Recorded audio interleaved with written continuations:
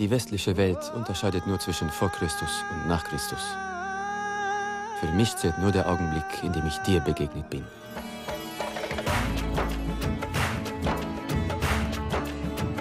Nachdem ich mein Leben lang anders war, führte ich endlich ein glückliches Leben.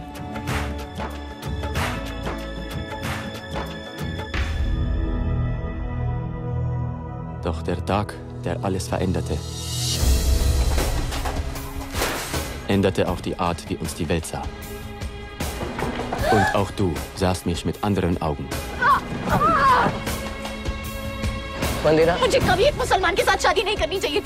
Verschwende!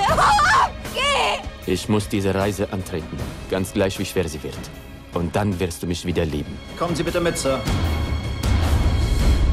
Warum wollen Sie nach Washington, D.C.? Ich möchte den Präsidenten der Vereinigten Staaten treffen. Ich muss ihm etwas sagen.